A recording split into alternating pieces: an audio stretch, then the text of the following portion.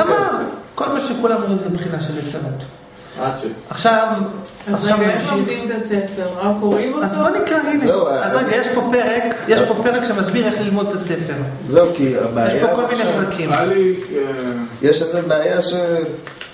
ככל שאתה מסביר ההפך, אני מתבאס לקרוא אותו לבד. אה? נכון. תקשיב, תקשיב. תפסיק, אתה תירוצים תמיד תמצא. אם זה איתי, אז למה זה איתי? אם זה לא איתי, עזוב. אתה בסוף תשב תקרא, ואז כשתבוא לפה, יהיה לך יותר קל להבין.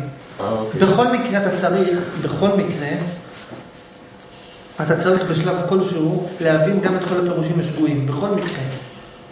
כי גם להם יש חלק של אמת. אין דבר כזה, עדיף שהוא יסביר לי. כי גם מה שאני מסביר לך זה לא נכון. אתה צריך תמיד גם את ההפך. אתה צריך את כל הווריאציות ולהבין משהו מעבר.